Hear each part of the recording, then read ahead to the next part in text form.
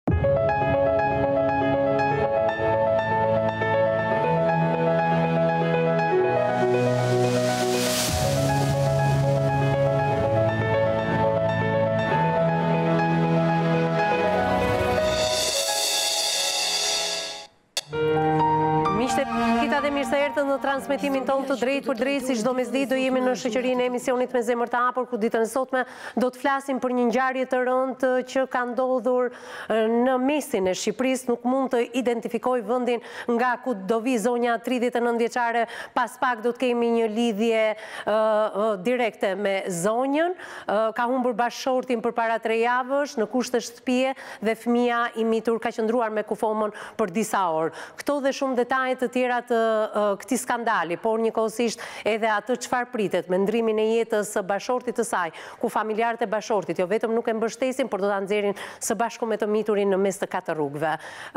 Kronika është përgatitur nga kolegia Anila Ahmataj dhe rikthehemi në studio me lidhjen e drejtpërdrejtë me zonjën, por edhe me të ftuarit e ditës. Për më shumë ndjekim materialin. Historia që do të trajtohet ditën e sotme është nga ato të trishtat. Një zonjë 39 vjeçare, e cila rrëfeu për stafin e emisionit me zemër të hapur, një ngjarje të tmerrshme e cila ka të bëjë me fëmijën e saj 8 vjeç. Vetëm 3 javë më parë, 39 vjeçarja humbi në mënyrë të papritur dhe tragjike bashkëshortin në kushte shtëpie. Djali i mitur gjendet në shtëpi dhe pa gjithë skenën. duke qëndruar me orë të tëra së bashku me kufomën. Ngjarja u bë më e rëndë kur 39 vjeçarja kthehet në shtëpi nga puna. Aty gjen një tragjedi të vërtetë. Djali qëndronte pranë babait dhe ai ishte prej orësh i pajetë. Sikur të mos mjaftonte kjo, 39 vjeçare pas vdekjes së bashkëshortit, ende pa kaluar 40 ditë, familja e burrit kërkon ta largojë nga shtëpia. Për më shumë, Ndiqni rrëfimin e saj. Pas kronikës së përgatitur nga kolegia ime Anila Ahmataj, përpara se të lidhemi drejtpërdrejt me 39 vjeçaren me mua në studio do të jetë ditën e sotme, avokati dhe ndërmjetësi zoti Ylli Kameri përshëndetje mirë se erdhe. Faleminderit që je me mua në studio do të flasim për një ngjarje që sapo ka ndodhur vetëm tre javë më parë, do të flasim jo vetëm për skandalin e kësaj familjeje, për vdekjen e babait, Por, njëkohësisht do të flasim edhe për atë çfarë pritet mbas vdekjes së bashortit të kryefamiljarit, për mënyrën se si do qasen tashmë familjarët e tij, duke e nxjerrë në mes të katër rrugëve, siç pretendon tridhjetë e nëntë vjeçarja, së bashku edhe me fëmijën e mitur. Vetëm pas pak, avokat se është ngjarja shumë e rëndë, faleminderit që je me mua në studio, përballë teje opinionistja Marsela Lekli, përshëndetje Marsel, mirë se erdhe. Besoj se e more ekstraktin e parë të kësaj ngjarje sepse përpara se të hynim në transmetim të drejtpërdrejtë kishe shumë pyetje, të cilat mund t'i mbash shënim dhe në momentin që zonja mbaron rrëfimin e saj për ne në studio por dhe për audiencën, besoj do t'ia drejtosh të gjitha ato pyetje. Lidhemi drejtpërdrejtë me zonjën tashmë. Zonjë përshëndetje! Shëndetje! Në radhë të parë të falenderoj që pranove të ishe pjesë e emisionit me zemër të hapur, sepse vetëm përpara tre javësh ti ke humbur bashkëshortin tënd, por ai ka ndruar jetë në kushte shtëpie dhe djali yt i mitur ka qëndruar me kufomën prej disa orësh. Mund të flasim pak për këtë detaj kaq tronditës?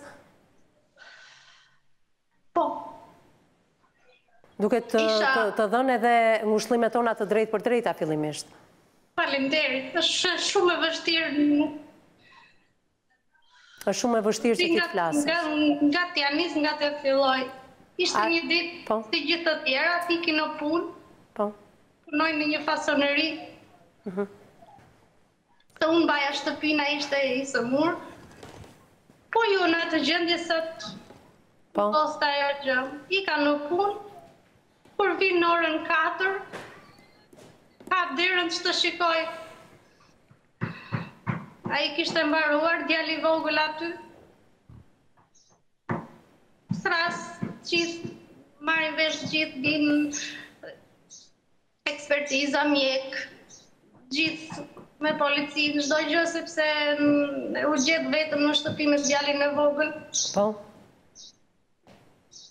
kur erdha unë ai kishte ndërruar jetë kishte 3-4 orë djali kishte qarë kishte qarë derisa kishte zënë gjumi në dhomën tjetër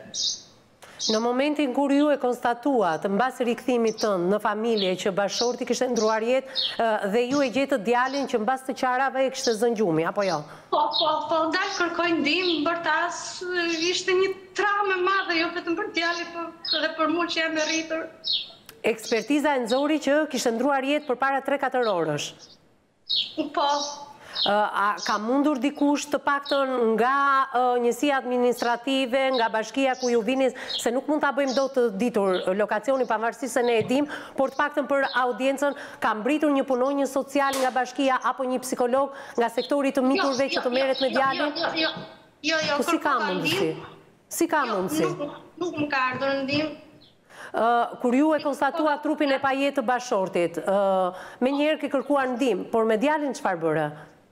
Me djalin vetë i qëndrova pranë, me të gjithë atë gjëmë, me të gjithë atë tragjedi që ndodhi. Arriti të tregonte ndonjë detaj, çfarë kishte ndodhur me të jatin, kishte kuptuar çfarë po i ndodhte babait? Më tha, më tha shumë detaje, më tha që më thirri babi tha i ra të fikët. Po. Më thirri tha më shtrëngoi dorën. Më shikoi, tha, pastaj nuk mund t'i tregoj dot të gjitha ato gjëra që më tregoi djali, është e tmerrshme. Kaloi hemoragji cerebrale. Djali ka parë një skenë të tmerrshme që s'e përballon dot një i rritur. Mirë, fatkeqësia që më ndodhi, por jam në kushte shumë të tmerrshme, shumë shumë shumë shumë keq nga ana ekonomike, punoja vetëm unë. Tani unë do rri vetëm me djalin në shtëpi, s'ka shumë nevojë për mua. Në kopësht nuk shkon. Nuk është mirë. Nuk është mirë. Ndërkohë që ka kaluar tre javë nga kjo tragjedi, sot po bëhet publike për herë të parë. Besoj kushdo që të njeh, por edhe ne, besoj si staf në këto momente të kemi një reagim të bashkisë dhe njësisë administrative nga ju vini dhe do kontaktoj menjëherë edhe gjatë këtij transmetimi të drejtpërdrejtë që sektori i të miturve të marri të paktën, por edhe kopshti që frekuenton djali, besoj. Duhet të ketë një psikolog. Shkon në atë kopsht, tani është mbyllur kopshti, nuk besoj tutje edhe nuk shkojnë më fëmijët, do mbyllet tani tha ajo, drejtoresha.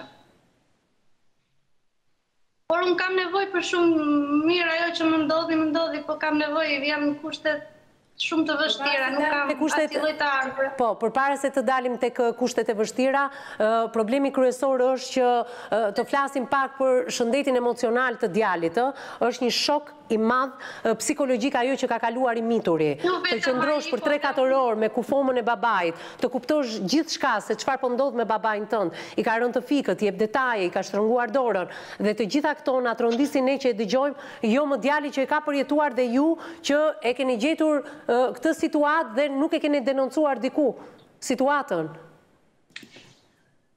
Ç'e mori kjo punë, ekspertiza ligjore, ça janë këto, bëra ato. Por ndihmë, ndihmë psikologjike jo, djali.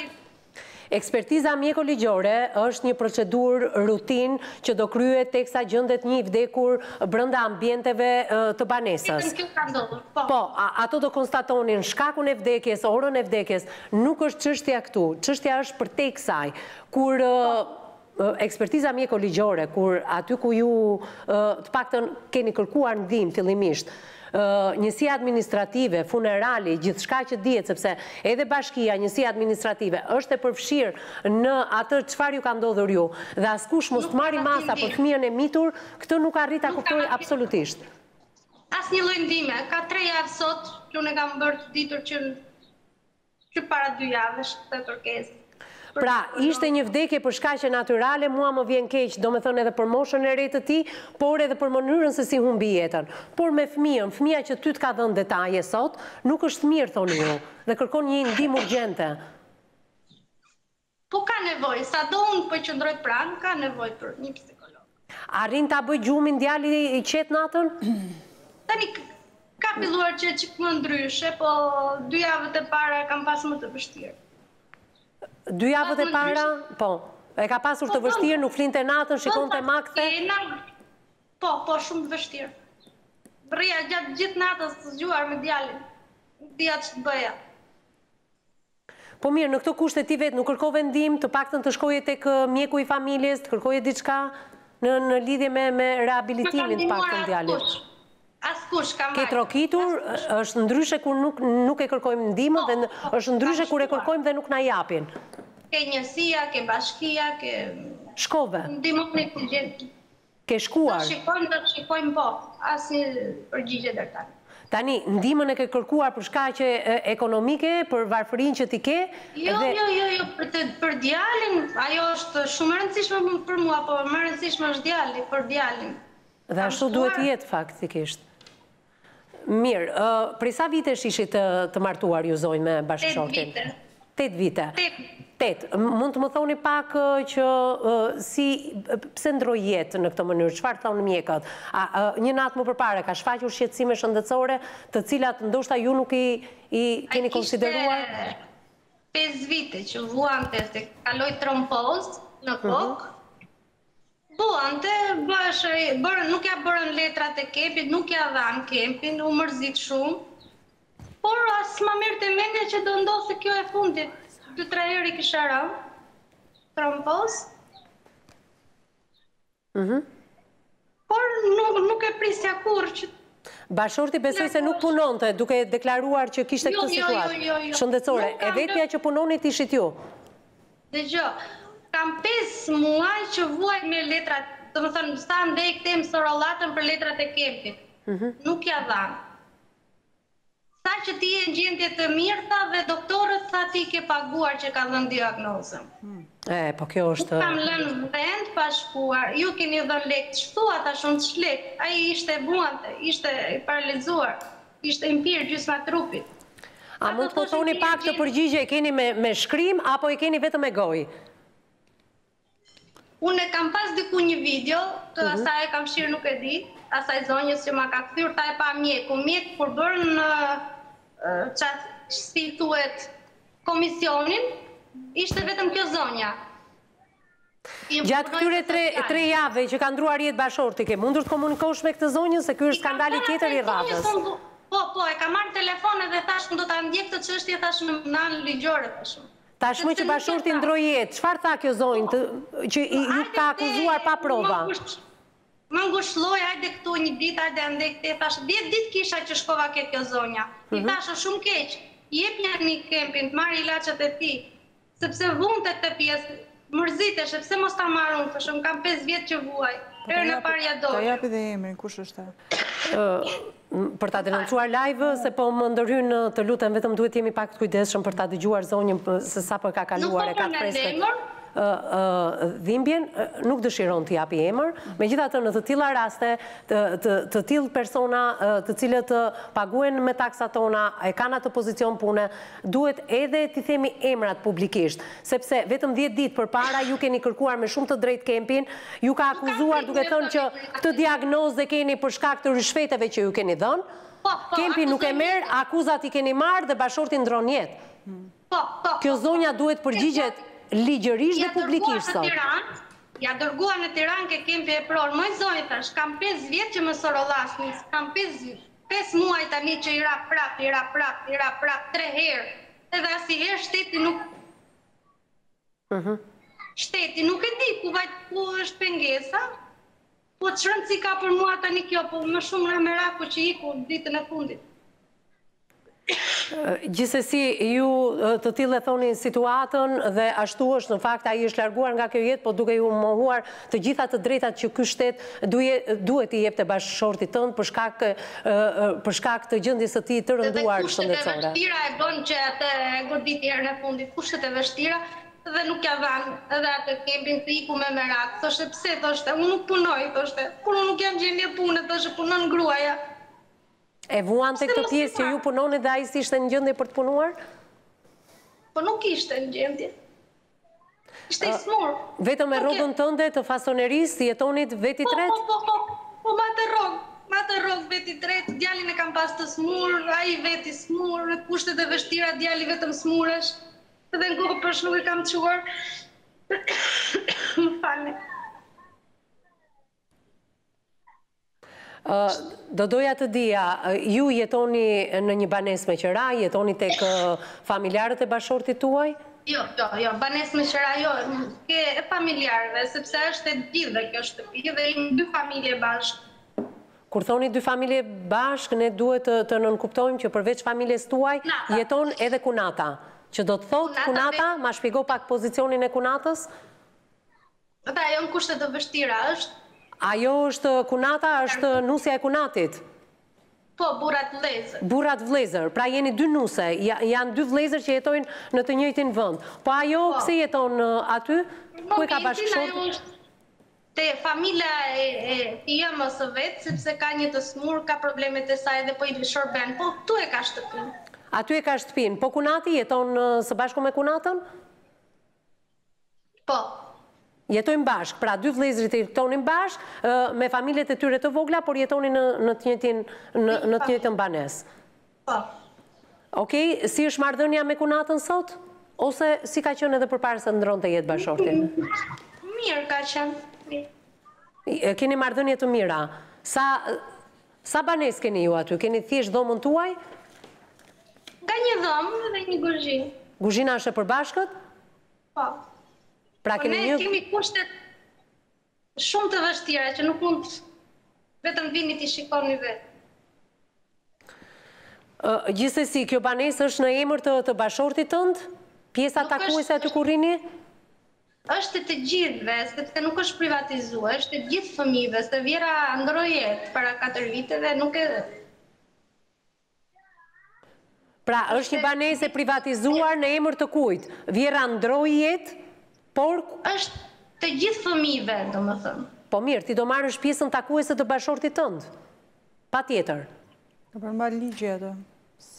Më dëgjon? Po. Ti do marrësh pjesën takuese të bashortit tënd. Pra është një shtëpi që do privatizohet dhe trashëgimtarët janë katër pjesëtarë më duket, apo jo? Janë gjashtë. Janë gjashtë pjesëtarë. Janë gjashtë fëmijë. Dy prej të cilve jetojnë në këtë banesë. Kunati dhe, dhe, dhe ju, apo jo? Po.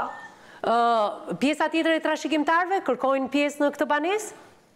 Nuk i kemi bërë këto muhabete, por unë kërkoj ndihmë nga ana e televizionit juaj, emisionit juaj, të më ndihmojnë kush ka mundësi. Të kuptoj. Mirë, ë Dua të largohem edhe unë që të kem një shtëpi për djalin më shumë se jeta ime mori fund. Mos të lë djalin Vetëm për këtë. Mirë, jeta jote nuk ka marrë fund, sepse ti je ende shumë e re, je vetëm një tridhjetë e nëntë vjeçare, ke djalin për të rritur, dhimbja është shumë e freskët dhe aq më tepër për mënyrën se si është larguar bashorti, duke mos marrë të drejtat e tij nga ky vend, por njëkohësisht edhe për mënyrën se si është larguar dhe djali ka qëndruar me kufomën prej disa orësh dhe kjo është akoma më e dhimbshme dhe askush nuk merr masa për fëmijën e mitur. Do kaloj në një hapësirë publicitare, e dashur, do rikthehemi vetëm pas pak sepse jemi shumë të tronditur nga ajo që dëgjojmë, është një ngjarje që po bëhet mediatike për herë të parë, prandaj ndjekim publicitetin dhe rikthehemi me komentet e të ftuarve po për të marrë detaje të tjera dhe nga zonja tridhjetë e nëntë vjeçare menjëherë mbas reklamave.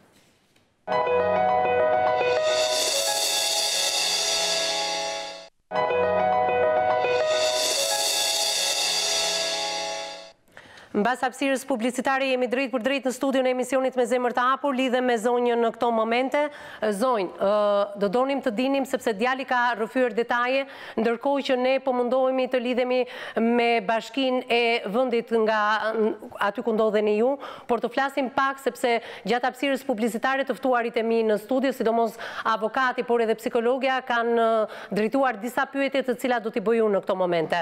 Ju thatë që bashorti vuante nga një sëmundje ku nuk ka marrë shërbimet nga ky vend përpara se të ndrronte jetë, pesë vitet e fundit apo jo? Keni konstatuar sëmundjen e tij përpara pesë vitesh, çfarë profesioni ka pasur ai? Kush ishte? Nuk ka pas ndonjë profesion, punëtor, punë. Ku punonte? Ka qenë jashtë shtetit. Ka qenë jashtë. Okej, po çfarë arsimi ka pasur? Të mesmen.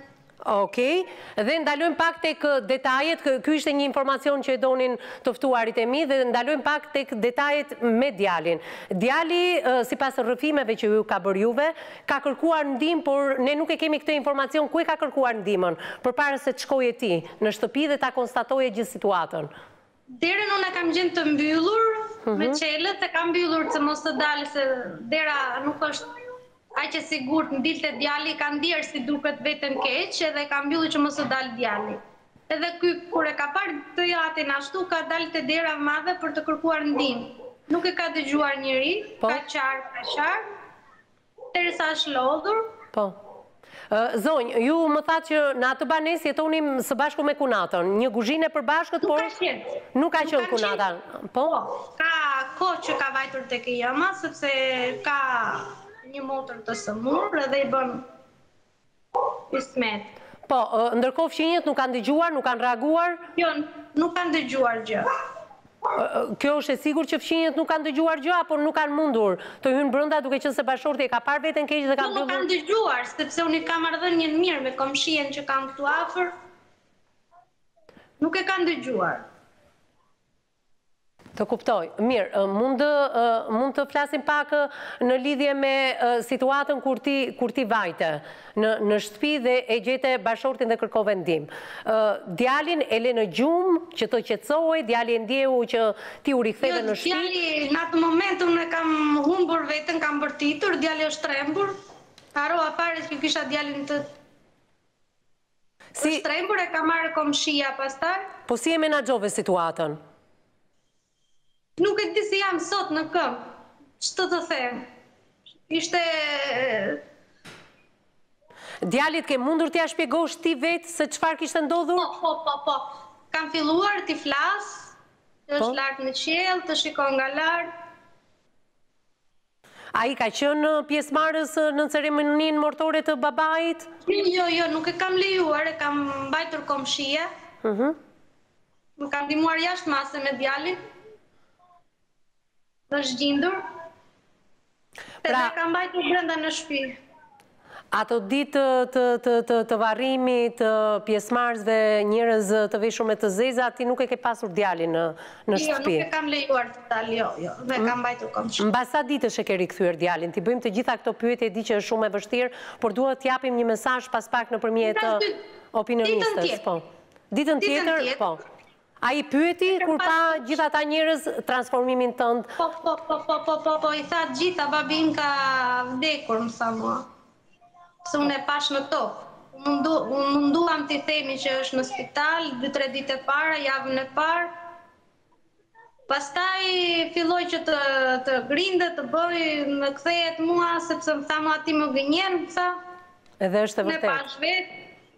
Ai është e vërtetë, je munduar për ta për ta zbukuruar situatën.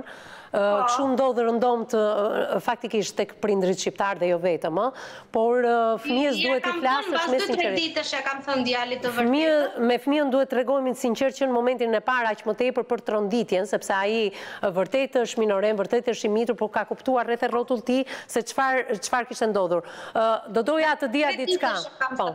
Mbas tre ditësh, mirë, do ta marri fjalën Marsela Lekli pak më vonë për të dhënë disa këshilla për ju në situatën që ndodhemi, por edhe për situata të tjera që mund të kalojnë shqiptarët dhe ndoshta nuk dinë se si të reagojnë ndaj këtyre situatave. Ndalojmë pak edhe në në një moment tjetër. Pse nuk ka mundur bashkëshorti të telefonojë dhe të kërkojë ndihmë? Sipas dëshmisë së djalit, siç më ka treguar djali që nuk ka arritur dot ta kapi telefonin. Ë, të kuptoj. Ka goditje më të hershme.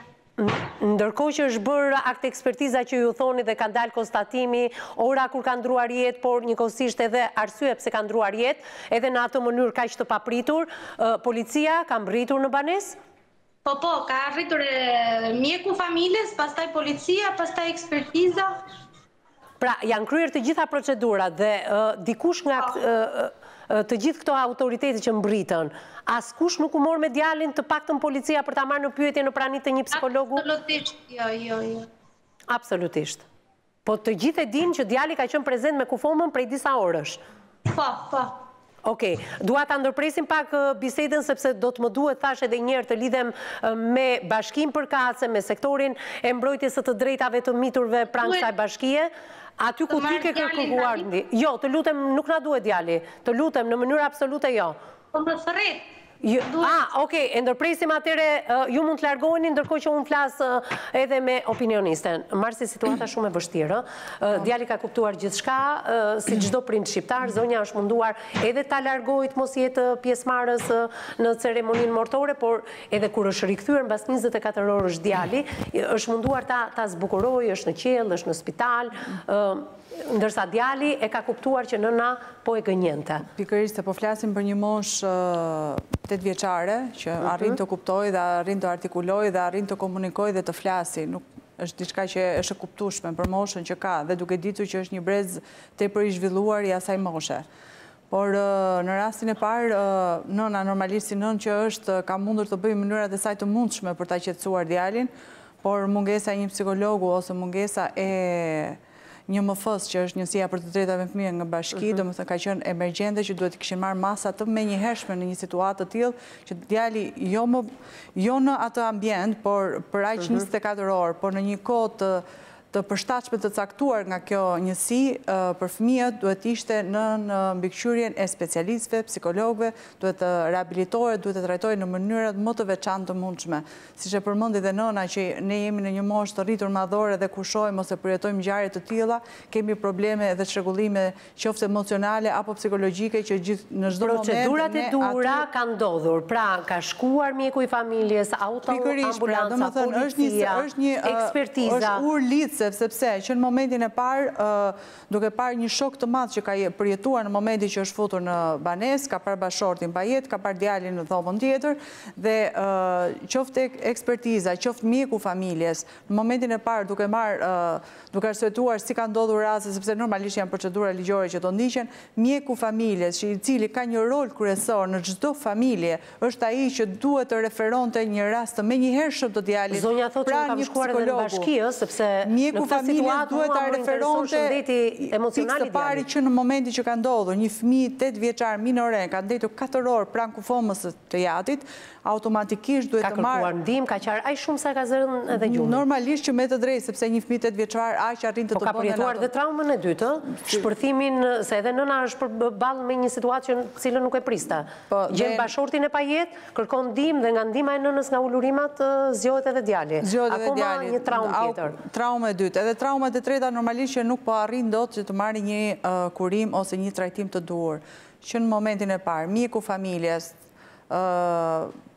Pikas këtë rast, të gjitha... Duhet të themi të vërtetën, ëh, përveç mjekut familjes edhe... Mjeku familjes është i pari, Edis. Njësia administrative, sepse zonja thotë, kam shkuar. Unë jam pjesë, jam...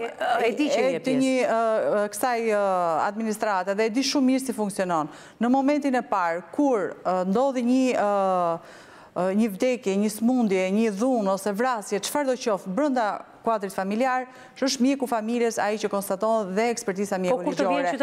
Mjeku familjes e referon tek bashkia, tek NJMF-ja ose te njësia administrative, e referon rastin që në këtë banesë është një djalë që ka nevojë, referohet rasti nga njësia administrative në rast se nuk disponon një psikolog, punonjës social, normalisht që përcillet tek bashkia, çdo bashki, qoftë e vogël apo e madhe, ka një zyrë NJMF-je që do të thotë Njësia për Mbrojtjen e të Drejtave të Fëmijëve dhe aty mund të kërkojë ndihmën e menjëhershme duke ditur që mjeku i familjes duhet ta përcillte këtë lajm të menjëhershëm dhe në momentin kur mjeku nuk e ka përcjellë ka shkuar zonja vetë ka shkuar tek Bashkia dhe ka thënë që ka nevojë për ndihmë tani se çfarë ka ndodhur më pas i kanë kthyer përgjigje s'i kanë kthyer përgjigje e kanë pritur s'e kanë pritur zonjën e kemi pa ndihmë ne sot E ka papri dhe duhet të dhe kë ka folur çfarë rëndësie ka çfarë përgjigje i është kthyer zonjës më fal një sekondë sepse në bashki ka shkuar në bashki ka shkuar tek punonjësi e zëmi i gjendjes civile a duhet shkonte ke kolegu ky punonjësi i gjendjes civile ose ta referonte zonjën të shkonte ke normalisht sepse në çdo bashki ke një recepcionist aty po, pra. ose recepcioniste që të referon në bazë të problematika që ti ke dhe të referon te zyra përkatëse lëvizjet e zonjës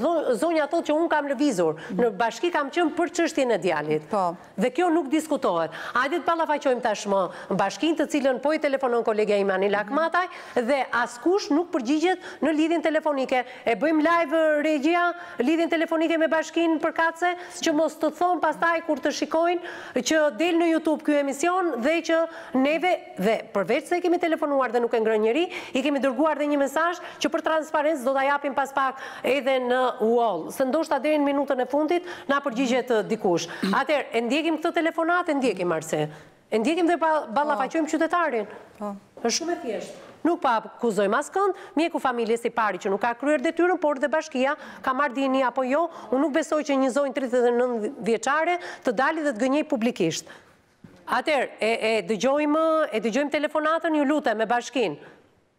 Të mos marrim minuta. Uh, Okej. Okay. Bie zilja dhe të, dhe të shikojmë. Do përgjigjet apo jo? Dikush nga bashkia e këtij vendi. Dhe të lidhemi me zyrën përkatëse. Në në atë bashki ë? Okej, mund t'ia kalosh koleges time? Besoj se këtu, deri këtu jemi transparente. Është një numër i konfirmuar edhe nga avokati apo jo avokat, është numri që ju vetë na keni vënë në dispozicion, por edhe kolegja kishte të njëjtin numër si ju, na erdhi tashmë Numri i telefonit i zyrës, drejtpërdrejt. Të shikojmë edhe të punonjëses. Ndërkohë, përpara se ta fusim zonjën në lidhje të drejtpërdrejtë nga bashkia, është një numër telefoni që po na e vë në dispozicion opinionistja Marsela Lekli, nuk e dua më këtë telefonatë, I lutem edhe njëherë koleges time Anila Ahmataj ta bëjë me dije se me kë zonjë kemi të bëjmë, të mos japim të dhënat e zonjës në transmetim siç na ndodh në transmetimet e tjera, që ne nuk japim informacion dhe janë pikërisht autoritetet shtetërore që dalin dhe japin informacion në lidhje me zonjën dhe me fëmijën e saj. Flet fillimisht kolegja ime dhe më pas ma kaloni telefonatën mua për ta ballafaquar me zonjën. Avokat, janë kryer procedurat e duhura, ajo që thamë, Është thirrur mjeku i familjes, autoambulanca, morgu, ekspertiza, policia, por çfarë ndodh me djalin? Po, fillimisht i shpreh ngushëllime zonjës për humbjen e papritur të bashkëshortit. Ndoshta një vdekje e paralajmëruar më përpara për shkak të rrethanave. Gjëja e parë që e këshilloj zonjën është që të bëjë një kallëzim penal pranë organit të prokurorisë së rrethit Elbasan, për mjekim të pakujdesshëm, i cili ka sjellë vdekjen e bashkëshortit të saj, për shkak se nuk ka marrë ndihmën e duhur mjekësore edhe trajtimin e duhur mjekësor, në kohën kur e ka kërkuar dhe në mënyrën që e ka kërkuar, është një çështje që kërkon hetim të paktën për të vënë përpara përgjegjësive personat përgjegjës për jetën e një personi që u largu nga kjo botë dhe jeta e tij ishte e mbrojtur me Kushtetutën. Së dyti, mirëqenia e fëmijës varet shumë nga mirëqenia e zonjës. Pra, po që se zonja ka mirëqenien, ka energjitë e nevojshme për të përballu jetën, edhe fëmija i saj do ta përballojë humbjen apo tragjedinë që ka ndodhë në familjen e tyre. Fëmija nuk mund ta përballojë vetëm, pa ndihmën e nënës, pa ndihmën e njerëzve që e rrethojnë, Dhe meqenëse përgjegjësia prindërore tashmë i takon vetëm nënës, është nëna e cila duhet të gjejë energjitë e nevojshme për të ndjekë të drejtat e saj. Natyrisht, ne dalluam zonjën me një nivel shumë të ultë dinjiteti, me një nivel shumë të ultë le ta themi dëshire për të ndjekur të drejtat e saj, për të qenë e barabartë përpara ligjit me personat e tjerë, Edhe për të realizu të gjitha të drejtat që asaj i takojnë me kushtetutë, me ligj, edhe normalisht edhe nga arsyeja njerëzore. Ça do themi tashti për fëmijën, i cili ndodhet i vetëm, ka nevojë për mbrojtje, dhe vetëm nëpërmjet kallëzimit penal që zonja do bëjë për shkaktimin e vdekjes apo për mjekim të pakujdesshëm ndaj bashkëshortit saj, Do ta vendosi prokurorinë në pozita pune për të kërkuar urdhrin e mbrojtjes për fëmijën, përballë organeve shtetërore, përballë bashkisë dhe përballë organeve administrative, të cilat janë të zgjedhura dhe paguhen nga shteti, nga paratë e taksapaguesve, nga kreditë dhe nga donatorët pikërisht për të bërë detyrën, për të rritë mirëqenien e banorëve të zonës administrative. Do kemi një strukturë e cila në praktikë pothuajse nuk funksionon. Pra janë njerëz të cilët janë zgjedhur për efekte politike, për efekte konjukturash, votash e tjera e tjera. Por zonja nuk duhet dorëzohet. Çështja është që Me ndryshimin e hartës gjyqësore, zonjës i takon që t'i realizojë drejtat e veta në një në qytete të largëta, por ajo nuk duhet stepet nga nga nga nga pengesat. Mhm. Për të krijuar, për të marrë ndihmën e nevojshme, zonja duhet i drejtohet më njëherë Ministrisë Drejtësisë. Po. Ministria Drejtësisë është e detyruar që në gjendjen që është zonja, në të ardhurat që ka, me gjendjen në cilën ndodhet procedimi për sa i takon drejtave të fëmijës, T'i vendosë një avokat për sa i takon ndihmës parësore, një avokat që do t'i ofrojë ndihmën juridike falas për të cilën zonja ka jashtëzakonisht nevojë, pranë një gjykate kompetente. Unë si avokat dhe shokë kolegët e mi janë në grevë sot pikërisht për efektet e hartës gjyqësore të largimit të shërbimeve nga njerëz të vobektë, nga njerëz të cilët nuk janë gjendje që të realizojnë të drejtat e tyre, njerëz të cilët në të ardhmen do të jetë baza e burimit korrupsionit. Pra, nga këto njerëz do burojë korrupsioni, nuk nuk buron njerëz korrupsioni nga njerëzit e pasur, nga njerëzit kapitalistë, nga njerëzit që kanë vendos mirëqenien e tyre. Korrupsioni buron nga varfëria, nga njerëzit që nuk janë në gjendje që të ndjekin drejtat e veta dhe të investojnë për drejtat e veta. Do ta jap menjëherë fjalën avokat. Ta mbajmë argumentin pak këtu tek korrupsioni se kemi të bëjmë me dy skandale, por duhet të dal në një hapësirë publicitare. Të respektojmë edhe publicitetin. Nëna duhet të mendojë së pari për mirëqenien e vet, dhe më pas menjëherë Ke fëmija do ndalojmë tek mirëqënia e nënës dhe dhe e djalit kemi disa skandale të zbuluara të paktën nga ky transmetim i sotëm askush nuk është marrë me fëmijën e mitur dëgjoj në kufje vazhdimisht që kolegja është lidhur me bashkinë përkatëse dhe me punonjësen e NJMF-së dhe ndërkohë Lançojmë publicitetin, rikthehemi në studio se do të flasim pak edhe për mjeken që ka mohuar kempin e bashkëshortit dhe sot që ai është i vdekur, dhjetë ditë më parë i është mohuar kempi dhe askush nuk merr përgjegjësi pse nuk mori shërbimet e duhura deri në momentin që ndroi jetë babai i një fëmije të mitur. Vetëm pas pak.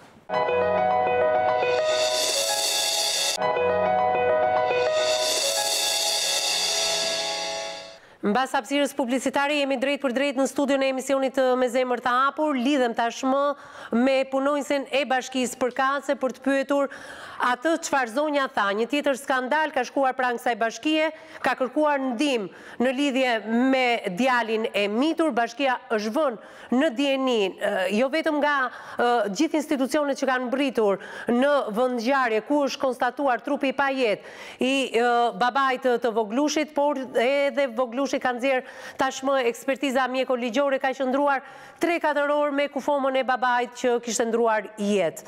Ndërkohë ka parë gjithçka me sy, pyesim punonjësen sociale dhe lidhem me zonjën Suada Cura. Zonja Cura, përshëndetje. Përshëndetje. Në radhë të parë, unë të falenderoj për gatishmërinë që je në studion e emisionit Me Zemër të Hapur. Vetëm duhet të plotësojmë disa kritere, disa detyrime ligjore. Nuk mund të jap dot lokacionin e bashkisë nga ju vini, as emrin e zonjës, as emrin e fëmijës, prandaj të lutem je vënë në dijeni për këtë rast përpara se të hynim në transmetim live nga kolegja ime Anila Hmataj. Atëherë, ju e njihni rastin apo jo? Rasti është paraqitur pranë sektorit social. Po. Ka ardhur ka bërë dhe një një një deklarim ose një kërkesë që është në familje në nevojë dhe ka vështirësi, por edhe që edhe historia që ajo fëmija që fëmija ka ndetur bashkë me babain kur ai ka mhm. qenë i vdekur dhe ka kërkuar një psikologe dhe trajtim dhe ne po merremi sot zonja ka qenë tek zyra, por ne kemi qenë për një rast tjetër në vlerësim dhe zonja ka qenë te zyra ka takuar punonjësen e mbrojtjes së fëmijëve dhe ka kërkuar që të trajtojnë fëmijën nga ana e psikologut, por ne po kontaktojmë me një shoqatë në Cerrik që mund t'i t'i ofrojmë një psikolog sepse nuk ka psikolog në në në institucionin që ne punojmë. Edhe për sa i përket po. pagesës kemi bashkë me me drejtorinë e financës pyeta sot dhe më thanë që do t'i ofrojnë një fond Nuk e di sa lekë do t'i ofrojnë zonjës, por, por kur të bëhet mbledhja e këshillit nga data njëzet e ca, nuk e di kur është mbledhja e këshillit, kështu që zonja ka bërë një kërkesë me shkrim para disa kohësh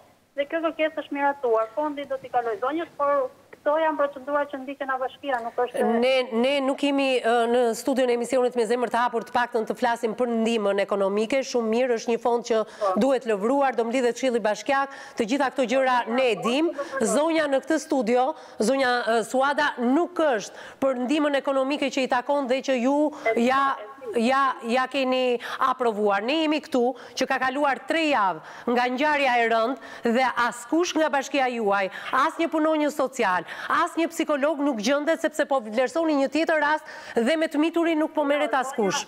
Zonja mos mos thoni ashtu sepse sot kur është paraqitur. Sapo e thatë juve? Punonjësja punonjësja e mbrojtjes së fëmijëve e ka pritur dhe e ka marr mas nuk e di sa mbas gjysore. Zonjë ka kaluar tre ka kaluar tre javë zonja Suada ka kaluar tre javë dhe fëmija dhe trauma nuk pret derisa ju domethënë të merrni masa. Ku është psikologja e bashkisë? Nuk ka pra bashkia. Të kishit kërkuar ndihmë diku tjetër, zonjë, zonja Suada, kërkoni ndihmë diku tjetër. Atëherë mund ta punojmë me shoqatat që t'i ofrojmë asaj. Si ka mundësi që bashkia juaj nuk ka një punonjës social? Të kishit marrë, të kishit marrë borxh nga një bashki tjetër, të kishit marrë borxh nga një shkollë, shkollat në vendin tuaj, në bashkinë tuaj nuk besoj të mos ketë psikologe. Po pra po bashkëpunoj sepse zonja dy herë është paraqitur pranë pranë historia vërtet mund të ketë tre javë po zonja dy herë është paraqitur pranë zyrave tona çfarë do të thotë në tre javë dy herë shumë herë është paraqitur shumë herë është paraqitur po ne po bëjmë çmos që t'i ofrojmë asaj psikologe zonjës nuk i takon si qytetare të të vijë dhe të trokasë në në njësinë tuaj dhe në bashkinë tuaj duhet të ishit ju që të shkonit në ndihmë të zonjës po mos thuaj ka ardhur dy herë se ka ardhur tepër të lutem bëhemi pak seriozë zonja Suada Të bëhemi pak seriozë. Ku është psikologja? Ku është psikologja? Do bashkëpunoj me institucione të tjera që t'i ofrojmë psikologe. Kur? Tashmë mbasi është bërë publike? Mbasi është bërë publike, mbasi unë po ngre zërin. Zonja ka thënë që do shkonte, pastaj nuk jam unë kompetente për të flasë, për të folur për këtë gjë. Zonjë, ju dolët në emër të bashkisë. Ju dolët në emër të sektorit. Mua më morën në telefon, unë jam koordinatore dhe unë. Atëherë, t'ju lë kohë, t'ju lë kohë, t'ju lë minuta të merrni të gjitha informacionet dhe mund të dilni? të jepni shpjegimet tuaja, po kështu si po flisni ju, zonja ka ardhur dy herë, shumë tepër ka ardhur zonja, nuk duhet të vinte fare. Unë do t'ju kaloj punonjësen e mbrojtjes së fëmijëve, sepse ajo ka takuar personalisht atë dhe jo mua dhe mbase të shikoni përgjegjësitë për shkollën e fëmijëve. Sot sapo e konfirmuat atë që thotë zonja, kanë kaluar tre javë, djali për dy javë nuk ka fjetur fare gjumë, Nuk presin trauma derisa të gjeni ju psikologe. Të kuptoj, e di shumë mirë situatën edhe gjendjen që ndodhet fëmija, kështu që ne do, në mund thashë, Ju keni bashki shumë dinjitoze afër vetes tuaj dhe mund të kishit kërkuar ndihmë. Edhe shkollat pranë bashkisë tuaj kanë psikologe që mund të shkonin, edhe kopshti ku është djali ka psikologe. Ne po bashkëpunojmë, thashë, thashë dhe më përpara që ne po bashkëpunojmë për të për t'i ofruar ndihmë zonjës, kështu që zonja mos ta mohojë këtë gjë, ajo e di personalisht. Jo, jo, ajo nuk po po nuk po mohon asgjë, sapo e pohuat ju zonjë. Suada, sapo e pohuat ju këtë gjë. Zonja tha kam shkuar, kanë kaluar tre javë, djali po përkeqësohet, nuk kam asnjë psikologe, paska ardhur dhe dy herë personalisht, sepse po të na kishte ndodhur neve, ju e dini shumë mirë traditat e shqiptarit dyzet ditë nuk dalin nga shpia. psikolog ne jemi punonjës socialë në profesion kemi pozicione të tjera Atëherë shumë turp për këtë vend edhe për bashkinë tuaj që nuk paska asnjë psikolog në staf. Po tani kjo s'është puna ime të përgjigjem unë për këtë gjë. Jo, po edhe të thoni ka ardhur dy herë zonja dhe nuk ka ardhur më shpesh ke ju edhe kjo tani është për të vënë duart në kokë. Jo, unë nuk e thashë këtë gjë, mos shtoni fjalë që unë nuk i thashë. Sapo e thatë, ka ardhur vetëm dy herë. Zonja nuk po ankohet. Like dhe klikime, shoni ç'është në si të doni. Like dhe klikime ne nuk kemi nevojë se kemi nëntëmbëdhjetë vite në transmetim drejtpërdrejt. Bëni bëni detyrën se paguheni Suada me taksat tona, me të miat dhe me të zonjës. Sa për sa për klikimet atëherë meqë folëm për historinë e klikimeve. Kemi nëntëmbëdhjetë vite në transmetim të drejtpërdrejtë. Kemi nëntëmbëdhjetë vite përditë me teleshikuesin. Nuk kemi nevojë për klikimet. Por kemi nevojë të sensibilizoj ty dhe t'i japësh atij fëmije ndihmën e duhur. Atëherë mos na, mos na i atribuo ne faje tuaja, gabime tuaja, paaftësi tuaja për klikime dhe zonjës. Është e turpshme kjo që thoni. Është e turpshme. Ja, ja, ja ku e kam specialisten e NJMF-së së Fushë-Arrëzit. E kam pjesë të studios, emisionit me zemër të hapur. Marsela Lekli, E kupton, kolegen tuaj, ja ku e kam. Në këtë studio. Po, jo, kolegen time pranë bashkisë, se nuk njohim njëri-tjetrin, kështu që. Ja, në një bashki, në një bashki tjetër, të Fushë-Arrëzit. Atëherë, kam edhe avokatin, kështu që, të lutem, tregohu pak e, pak më serioze në punë. Atëherë, avokat, mund t'i kthejmë përgjigje? Jo, jo, përderisa thua ka ardhur dhe dy herë zonja, duhet vijnë qytetarët kur i vdes familjari, vetëm ty të kam dëgjuar. Atëherë, avokat. Duke e dëgjuar me vëmendje dhe është është e pa pyes nëse sa sa kohë ka domethënë që ka eksperiencë pune në në këtë profesion. Sa do eksperiencë pune ka, jo, ajo akuzon në mënyrë të drejtpërdrejtë një emision që ka nëntëmbëdhjetë vite. Të lutem, unë desha të di sa Unë nuk e di sa vjeç është zonja. Desha të di eksperiencën e zonjës në detyrën që i kanë caktuar pranë kësaj bashkie. nëse është e ndërgjegjshme për funksionin e saj si njësi për mbrojtjen e interesave të fëmijëve Të hedhim sytë vetëm nga vendi fqinj, nga Italia. Punonjësi social shkon ke qytetari dhe jo qytetari tek punonjësi social. Edhe këtu është e gabuar avokat.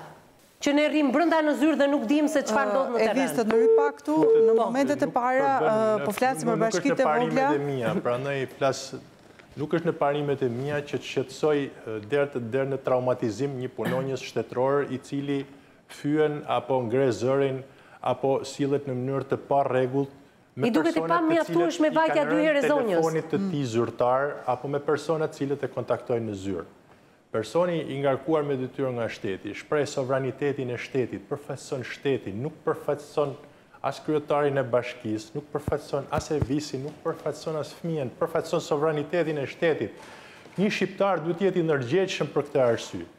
Për sa kohë që përfaqëson sovranitetin e shtetit, një punonjës i shtetit duhet të bëjë çmosin që ky sovranitet të pasqyrohet njëlloj dhe miqësisht edhe në mënyrë dashamirëse dhe vëllazërore përballë çdo subjekti tjetër, si përballë ndërkombëtarëve, si përballë Evis Ahmetit, si përballë një personi që ka i ka rënë telefonit në mënyrë në mënyrë publike për të kërkuar një ndihmë të caktuar.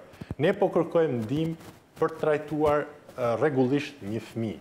A po na e trajton ky person rregullisht fëmijën apo i mbron interesat e tij, apo e largon atë nga rruga e krimit, apo e largon atë... Jo, po, po mundojnë të gjejnë një psikolog, se nuk ka psikologë. Në 2022-shin, kjo bashki e vogël nuk paska psikologë. Ta sqaroj unë se si mund të gjejnë diku tjetër psikologë. Ta sqaroj unë si funksionon puna e bashkisë. Një person profesionist, apo nëse ka caktuar një person i cili s'ka eksperiencë dhe kujtdo që mund të kërkojë ndihmë për një fëmijë që ka jetu trauma në vdekjen e babait vet, që nuk kanë ushqim për të ngrënë, që ju që ju rrezikohet ekzistenca edhe e familjes, që u rrezikohet nderi, që u rrezikohet dinjiteti, që u rrezikohet barazia me kolegë me shokët e tjerë, që u rrezikohet edhe gjëra të tjera domethënë themelore për sa i takon të drejtave që gëzon një fëmijë.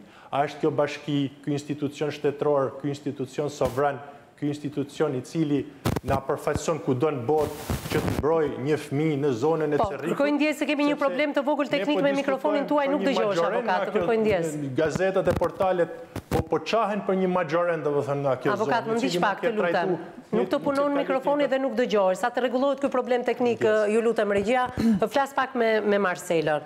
Marsi, ju do flisni në parim, po. Po i paraprij, të lutem, po i paraprij, më dëgjo. Po i paraprij asaj që do do thuash se si funksionon në raste të tilla emergjente. Po të flas te rastet emergjente. Tani, unë i kam trajtuar vetë këto raste dhe i trajtoj kryesisht.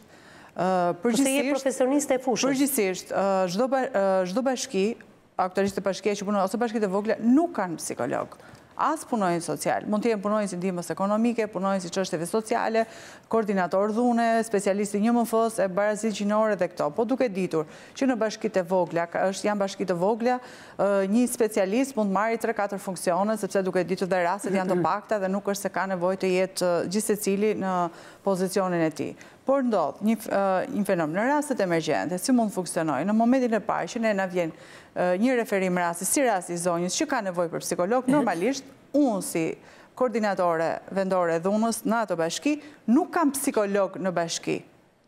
Sepse nuk ka psikolog, asnjë bashki nuk ka psikolog. Por ndërkohë, po, marr të dhënat Komunikoj me zyrën e një... Po ke shkollimin e duhur, Marsela, dhe flasim për një bashki si ku sharzi. E kuptoj, kontaktoj me zyrën e NjMF-së, sepse thashë, mund të jetë një... Ti ndoshta nuk je psikologe, por vetë... Nuk ka psikolog, nuk ka psikolog bashkia, por ça ndodh... Por vetë ke arsimin e duhur, shkon vetë... Çdo bashki, çdo bashki, qoftë e vogël apo e madhe, ka bashkëpunime me organizatat, siç ka bashkia që jam unë, bashkia tjetër, se çdo bashki e ka, dhe ne në rastet emergjente, qoftë e dhunuar, e plagosur, ose probleme me fëmijët, kemi atë organizatë që ne kemi bashkëpunime. në çdo moment dhe bashkëpunimet që na ofron deklaroi që zonja ka shkuar vetëm dy herë dhe e thoshte në një mënyrë sikur zonja kishte shkuar pak kjo zonjë nuk duhet të shkonte fare normalisht unë nuk e toleroj ajo është kolegja ime dhe nuk e toleroj në këtë fakt që rasti po i depresionit një tjetër rast ne nuk kemi psikologe derisa të gjejmë nuk pret trauma derisa të gjejmë se kanë kaluar tre javë dhe kalojnë dhe tre muaj Unë e thashë që në momentin e parë që hymë në emision që rasti i djalit... Dhe do mblidhim këshillin bashkjak dhe do t'i japim ca fonde fondi i takon zonjës. Le të mblidhet këshilli bashkjak. Ne nuk kemi ndihma ekonomike emergjente në këtë rast. Këto janë etapa të tjera. Ne po flasim për interesin më të lartë të fëmijës. Në momentin e parë, mjeku i familjes referon rastin, Tek njësia administrative. Njësia administrative në rast se nuk ka psikolog, punonjës social, e referon në bashki. Bashkia duhet të marrë masa, sepse çdo bashki në informacionin tim nuk ka psikolog brenda, por ka bashkëpunime me organizatat, ka bashkëpunime me psikolog, që mund t'i ofrohen në ndihmë çdokujt qoftë një gruaje të dhunuar apo një fëmije. Si? Kopshti përkatës se është nën tre vjeç avokat, gjithsesi është kopësht. Në çdo bashki të vogël bashkëpunimet i kanë me organizatat. Ke kopshti ku frekuenton djali, nuk ka psikologe. E kupton avokat çfarë ndodh? E ka psikologe. E ka psikologe, është detyrim ligjor, pavarësisht se ndoshta më punon. Ajo nuk e din që ça kopshti frekuenton, punonjësja, ok, atëherë dakor. Atë pra të thashë unë ty, zonja është në kufirin e mbiekzistencës. Ju se foli për klikime avokat. Lutem. Zonja është në kufirin e mbiekzistencës. Ah, okay. Ajo kërkon domethënë bukën e gojës sot. Dhe po thotë nuk e du bukën e gojës, po të më ndihmoni fëmijën. Mm, po. Pra, ka mbërrit domethënë duke duke kryer vetëmohimin nëna, që është një sakrificë sublime për cilën shteti nuk ka nevojë. Të jesh një punonjëse, më fal avokat, të jesh një punonjëse bashkie, qoftë koordinatore, qoftë punonjëse sociale, apo drejtuese e një NJMF-së, të jesh një punonjëse, Ke të drejtën e reputacionit që të të hapet çdo lloj mundësie që ata mund të kërkojnë, qoftë në OJF, qoftë në shkolla apo kopshte për një psikolog, sepse ke imunitetin dhe të drejtën e plotë për ta kërkuar. Nuk mund të të refuzojë askush ty në moment që ti kërkon një psikolog. Shiko, zonja nuk më dukej pa informuar mua, ëh. Zonja e kishte informacionin, por kur nuk bën punën, pastaj ëh. Zonja e kishte gjuhën brisk për të kthy përgjigje Pa lidhje me problemin që ne i kërkuam. Ajo kthente përgjigje për gjëra të cilat ne nuk ia kërkuam. Ne i kërkuam ndihmë për fëmijën, nëse do ia japi apo nuk do ia japi. Çfarë ka bërë dy herë të fundit? Pra kjo zonjë duhet të shkonte dy herë në ditë dhe jo për tre javë rresht. Të lutem shteti, shteti dhe punonjësi i shtetit duhet të vendoset në pozita pune dhe nëpërmjet këtij emisioni ndoshta në çdo rast sbashku me ju kemi kontribu që punonjësit e shtetit personat të cilët përfaqësojnë shtetin shtetin si diçka sovrane të vendosen pozita pune, të bëjnë atë punën e vogël, atë punën e përditshme për të cilën paguhen, për atë punën për të cilën kanë lidhur kontratë me institucionin. Por normalisht duke pasur këtë, ka dhe imunitetin e plotë që ato mund të kërkojnë ndihmë. Atëherë, Marcela, dua të flas pak me avokatin se ke edhe eksperiencë në vendet europiane, ëh? Të paktën personalisht unë e di që ti e njeh shumë mirë Italinë, e njeh dhe shumë mirë Gjermaninë. Ti e di që punonjësi social në këto vende shkon dhe në orën dy të natës në banesën e qytetarit. Punonjësi social është Të keqen atij policit rrugor që na vendos gjobat ne. Po, dhe nuk ka zyrë avokat nëpër vendet fqinje. Ne kemi shumë frikë policin rrugor, po punonjësi social. Është për të pasur frikë në këto vendet e Bashkimit Evropian. Kemi një nënë e cila po i drejtohet punonjësit social, i cili ka detyrimin ligjor që t'i drejtohet edhe gjykatës për t'i heqë përgjegjësinë prindërore nëse fëmija nuk shkon në shkollë, nëse nuk i jep arsimin. Jo, përgjegjësinë ja heqim shumë shpejt ne. I ka të gjitha të drejtat ky punonjës, por nuk është i ndërgjegjshëm sepse nuk ka eksperiencë, nuk shpreh atë domethënë që që duhet shprehi në interesin më të lartë të fëmijës. Ai ka dalë atje për të plotësuar kërkesat e subjektit të zgjedhur në atë zonë, me votat e zgjedhura në atë zonë dhe nuk ka dalë për të kryer detyrën shtetërore. Këtu duhet të jemi domethënë të shohim realitetin shqiptar. Në atë pozicion pune, ajo është edhe në sajë të votave të kësaj zonje dhe duhet t'i japi shërbimin kësaj zonje dhe jo vetëm. Kjo zonjë duhet vendoset në pozita pune, në pozitat e profesionalizmit dhe në pozitat e ndihmës. Jo avokat, sipas kësaj punonjëse vetëm dy herë ka shkuar në pranë bashkisë. Ka shkuar shumë pak, duhet të shkonte më shpesh. Çdo bashki ka një protokoll, kanë një paketë në rastet emergjente shtatëdhjetë dy orëshe. qoftë që funksionon për fëmijët, për gratë e dhunuara, për gratë e keqtrajtuara dhe janë pikat emergjente që në rast se ne si komunitet i vogël nuk kemi kapacitetin, kemi ndihma që marrim nga... Rasti konkret, kemi një fëmijë tetë vjeç që ka kalu një traumë, i cili do shkojë në shkollë, do përgatitet për arsim dhe nuk kanë ushqim te shpija, kanë një nënë e cila merret Ka një pagesë shumë t'ulët në një zonë të begatë, në një zonë ku njerëzit janë shumë punëtorë, por njëkohësisht janë edhe shumë të varfër, janë n'kufirin e skllavërisë, se duhet të kemi, duhet të flasim me, me, me, me gjuhën e realitetit, janë njerëz që duhet të dalin domethënë nga skllavëria, janë njerëz që duhet të gjejnë energji që të kërkojnë të drejtat e veta, Që të vendosin këta njerëz të cilët vetëm marrin dhe nuk japin asgjë për për komunitetin t'i vendosin pozita pune, sepse vetëm kështu mund të bëjmë mirëqenie për njerëzit në atë zonë. Po po po po ta bëj këtë punë media ti e dëgjove përgjigjen në Zon News. Zonja mund të përballet Që ta vëmë pozita pune nuk e vëmë dot.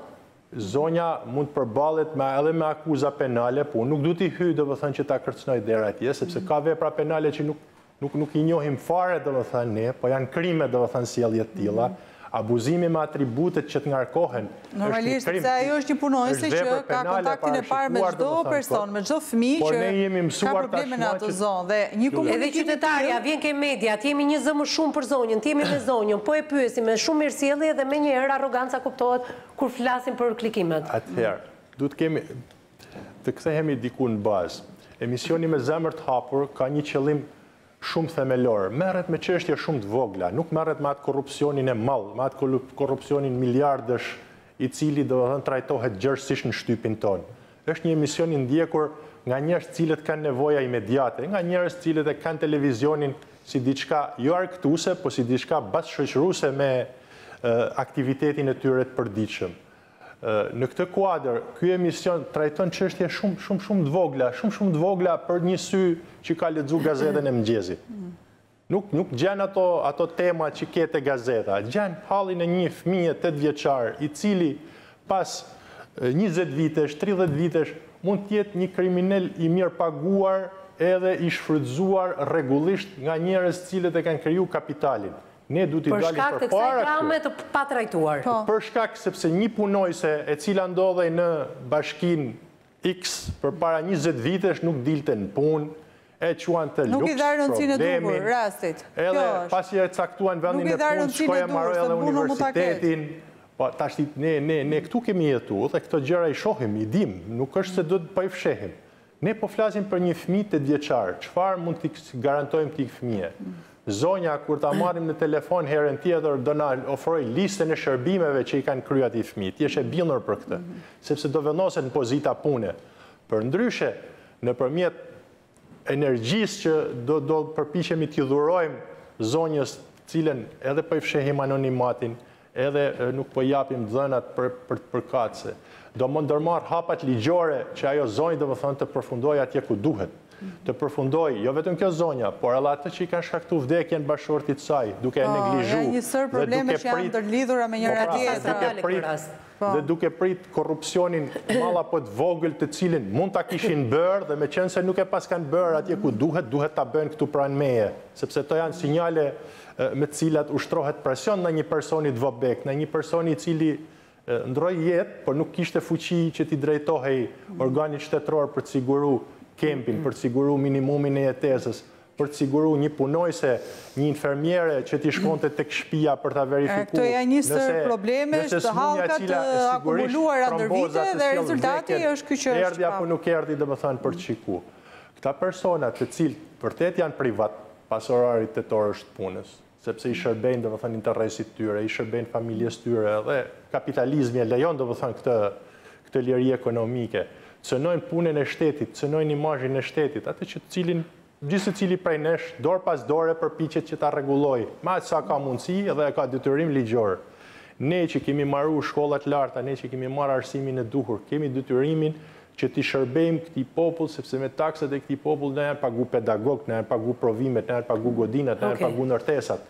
Ata që do mbarojnë shkollat private, ata nuk do të dalin për t'i shërby popullit, do të dalin për t'i shërby interesit, do nxjerrin interesat e tyre në plan të parë. Avokat, çfarë ke gjë, jemi në momentin e fundit dhe sot është vetëm hapi i parë, i këtyre dy skandaleve të mëdha, të paktën që kemi zbuluar ne nëpërmjet po. ndihmës që zonja kërkoi në emisionin me zemër të hapur. Dhe unë e di shumë mirë që mbas këtij emisioni do ketë reflektime, por derisa të arrijmë te reflektimet dhe ke implementimi i asaj çfarë i takon atij vogëlushi dhe zonjës. Edhe zonjës do t'i jap emrin e një avokati në zonën e Elbasanit, i po. cili do ta ndihmojë zonjën pa pa detyrime financiare, normalisht duke ngarku domethënë edhe shpenzimet personit përgjegjës. Super, faleminderit avokat, përpara se ta falenderoj avokatin, lajm shumë i mirë për zonjën, ke diçka për t'i thënë Marsela? Derisa të na gjendet kjo psikologja që. Zonjës në rast se do presim, mendoj dhe besoj që bashkia do marrë masat e duhura, zonjës do t'i ofrohet psikologu për fëmijët. po. për djalin, dhe në rast se nuk do jetë e mundur që t'i mundësojmë një psikolog, do marr uh, unë masa personalisht vetë që t'ia mundësojmë një psikolog në zonën e të rrikut. Oke, ia jap uh, lajmin e mirë drejtpërdrejt zonjës, zonjë, më dëgjon? Atëherë, e kam apo nuk e kam uh, zonjën? Po, jam. Je. Atëherë, sapo konfirmoi avokati zoti Yll Gameri në studio që do të vë në dispozicion një avokat në zonën e Elbasanit, i cili pa asnjë lloj detyrimi financiar, do të gjendet në krah derisa ti të kërkosh të drejtën tënde për gjithçka çfarë të nevojitet mbas vdekjes tragjike të bashkëshortit. Por, edhe psikologja jonë, në studio, deklaroi Marsela, në qoftë se bashkia nuk do të vë këto ditë në dispozicion një psikologe, mbas transmetimit të këtij emisioni, atëherë ajo është e gatshme për të ndihmuar fëmijën tënd. Ju falenderoj. Pa asnjë detyrim financiar. Por nuk dua të prish kontaktin me bashkinë. Kin sepse më thanë që do të ndihmojmë dhe. Jo jo, kontaktin me bashkinë nuk do ta prishësh. Jo jo, ato që, ato që do marrësh nga bashkia të takojnë dhe do t'i marrësh. Do t'i mundësojmë një psikolog në zonën e, në qytetin ku është zonja, një psikolog atje. Atëherë, në qoftëse bashkia shkon edhe disa ditë të tjera deri në gjetjen e një psikologeje, mbas transmetimit të këtij emisioni, atëherë po ta bëj me dije që do jetë vetë Marsela e cila do merret me fëmijën tënd. Ju falenderoj shumë. Ndërsa avokati të ofron kolegun e tij pa asnjë lloj pagese për gjitha problemet ligjore që ti ke. Dakord? Dhe dhe një kërkesë të fundit doja të më ndihmonit edhe thirrje publikisht, ku ta di unë në një ndihmë financiare pa pa pa diskutim të gjithë ata që e ndjekin dhe ë po na ndjekin në këtë transmetim të sotëm në qoftë se është dikush që do të ofrojë ndihmë patjetër të gjitha ndihmat do vinë tek ty duke i përcjellë numrin tënd të telefonit ti dhe ata që do të ndihmojnë do kontaktoni bashkë pa praninë tonë dakord? Po është e vërtetë. Ju falenderoj gjithë stafin tuj. Faleminderit juve. Faleminderit edhe ju miq që na keni ndjekur drejtpërdrejt në Televizionin News njëzet e katër, në Radio News njëzet e katër. Faleminderit nga zemra për gjitha komentet, ndihmat për rastin konkret. Na ndiqni në rrjetet tona sociale, në Facebook dhe në Instagram. Aty edhe na kontaktoni edhe denonconi rastet tuaja, por jepni mendime, komente në lidhje me temën e ditës, por njëkohësisht edhe ndihma. Flasim që në Facebook dhe në Instagram na gjeni Emisioni me zemër të hapur, ndërkohë emisionin e plotë e gjeni pas pak të hedhur në kanalin tonë zyrtar në Youtube Emisioni me zemër të hapur dhe aty gjeni çdo puntatë të emisionit tonë. Ndërkohë të nderuar miq bashkë takohemi në ditët në vijim deri atëherë mirutakofshim.